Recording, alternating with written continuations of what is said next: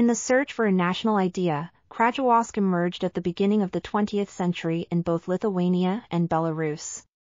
Proponents of this idea claimed that all native inhabitants of historical Lithuania, regardless of their ethnic or cultural background, were members of the same nation, the Krai. They emphasized patriotism and self-identification as citizens of the country as the primary criteria for defining a national identity. This idea was embraced by the nobility, who saw themselves as part of a combined Polish-Lithuanian-Belarusian culture. They viewed the former Grand Duchy of Lithuania as their ancestral homeland and believed that it should be seen as a unified native land. This concept was also adopted by some members of the nobility, such as Michael Römer, Roman Skirmunt, Kencestas Skirmunt, Ludwig Abramowicz, and others. Despite their intentions, the idea of Krajowość did not succeed in resolving the existing Polish-Lithuanian-Belarusian conflict.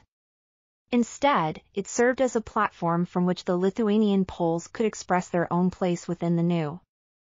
This article was authored by Aleksander Smalianczuk. We are RTCL.TV, links in the description below.